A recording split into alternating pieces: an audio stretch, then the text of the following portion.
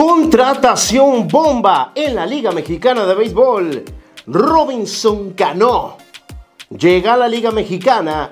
Estará debutando en el béisbol de México, ni más ni menos que una de las grandes figuras que ha habido en la última década en el béisbol de las grandes ligas. Lo veremos desplegar su talento. Robinson Cano dice quítense todos y llega a México.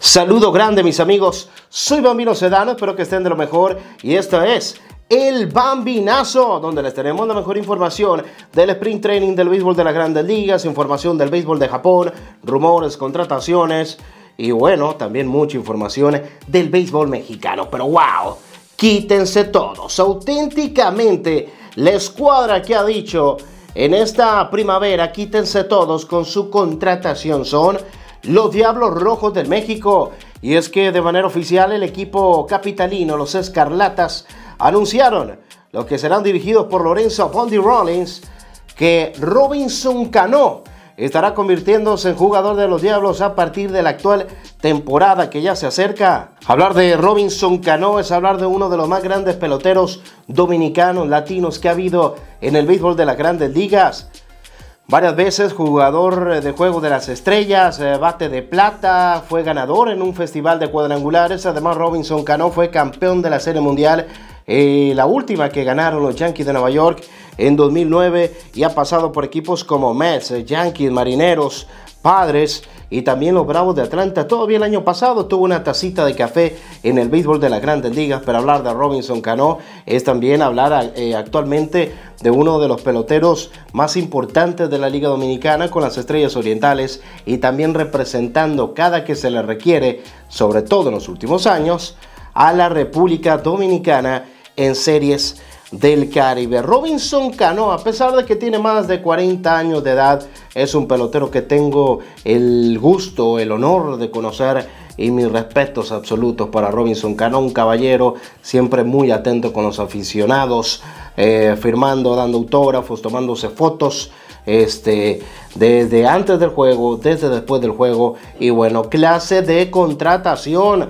Los diablos dicen quítense todos y Robinson Cano, el nuevo jugador escarlata.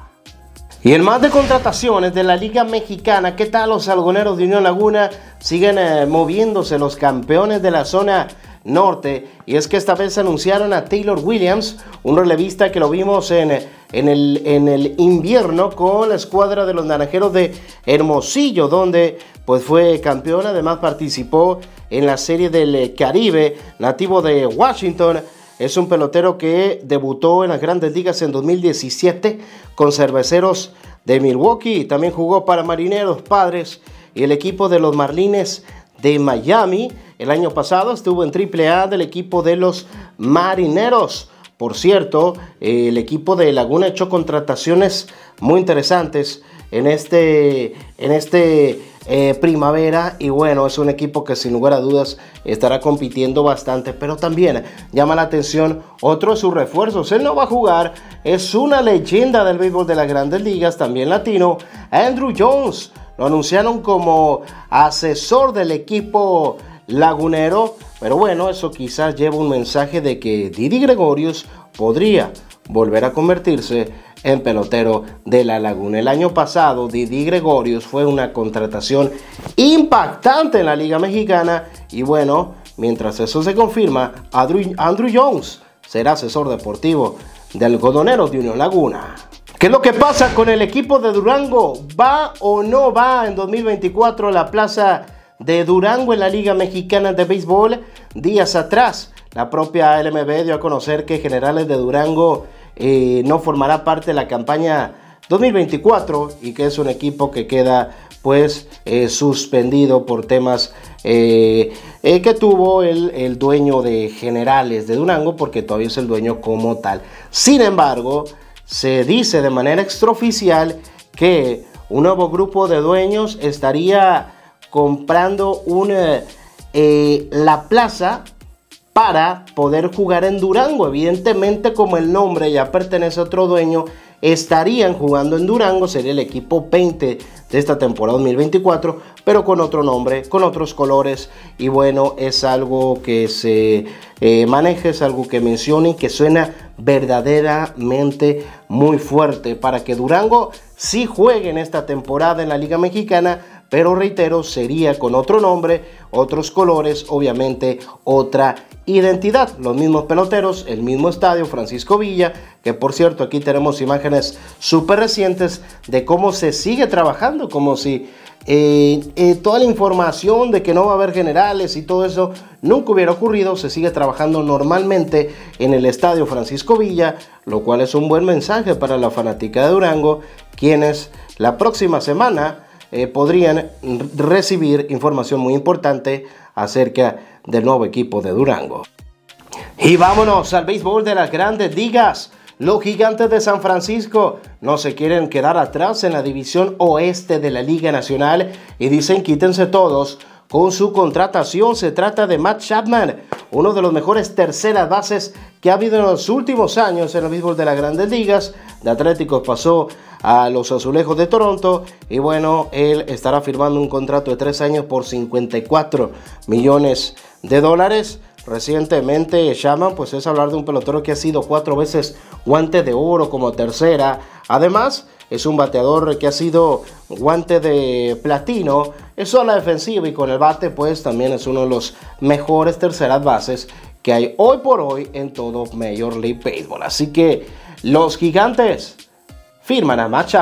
Mexicanos en el sprint training. Esta vez le, hablaremos de el Huicho Luis Urias, quien estrena equipo en los Marineros de Seattle, donde busca ser el tercera base titular. Compite con dos peloteros que no se han podido consolidar, como Josh Rojas y Dylan Moore. Una inflamación en su hombro derecho ha provocado que no pueda jugar en el cuadro todavía, pero Luis Urias ha sido partícipe con el Madero y recientemente en juego donde perdieron 6 a 5 marineros ante Media Blanca de Chicago, pues el Huicho se fue de 2-1. Y además logró conectar triple ante el lanzador abridor zurdo Jared Schuster en el segundo capítulo de este juego. El Huicho ahí hace ruido con Marineros de Seattle, donde en el bullpen dice quítense todos Andrés Muñoz, pero con el bate busca eh, ser figura Luis Urias con el equipo de los marineros. Shohei Otani se compromete y no hablamos de que se compromete a ser figura con los eh, Dyers, se compromete con la afición a seguir comportándose eh, como una persona pues muy respetable como lo ha hecho siempre Shohei Otani, se compromete de manera pues sentimental, de manera pues también legal con su, pareja. Y es que a través de un mensaje en Instagram, Shohei Otani eh, dio a conocer que se casó. Para todos mis amigos de aficionados de todas partes, tengo un anuncio que hacer. No solo he iniciado un nuevo capítulo en mi carrera con Dodgers, sino que también he empezado una nueva vida con alguien de mi natal Japón, que es muy especial para mí. Quiero informarles a todos que ahora estoy casado Estoy muy emocionado por lo que viene ahora y por todo su apoyo. De antemano, Shohei Otani pues pidió que no se hicieran chismes ni se buscara pues información acerca de eh, quién es su esposa y ese tipo de cosas, ¿no? Y es que Shohei Otani pues ha mantenido su vida privada impresionantemente eh, eh, así, privada. Lo que conocemos de Otani que es su perro Decoy y por ahí Conocemos también, evidentemente, a Ipei, quien es su traductor.